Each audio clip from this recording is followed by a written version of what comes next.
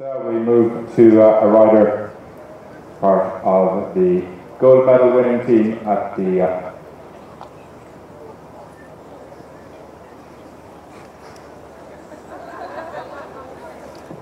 the uh, Tokyo Olympics and also taking the team gold medal as part of the British squad at the European Eventing Championships just a few weeks ago. But uh, the Blenheim Palace International title has eluded her to date. Great Britain's Ros Canter comes forward on a score of 22.0 with Alex Moody and her own 10-year-old gelding, Izilot DHI.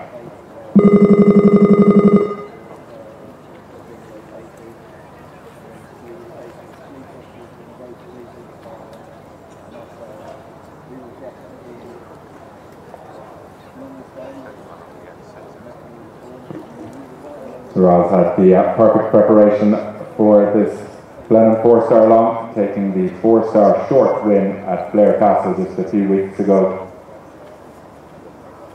And, uh, completing the eight and nine-year-old championship here three years ago.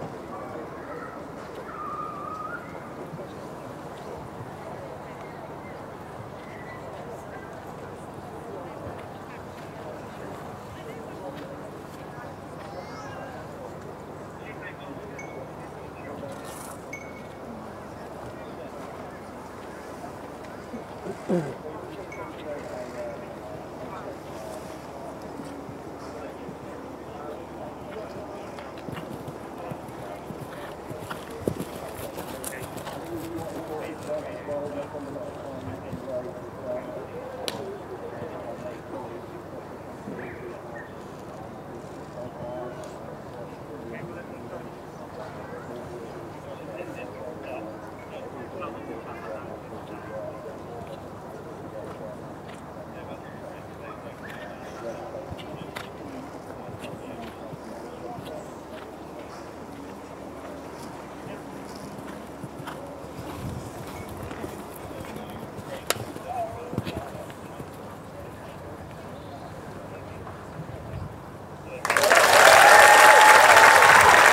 Four round from our reigning European eventing gold medalist Ros Canter with uh, Izilot DHI completing the Blenheim four-star long on a score of 22.0.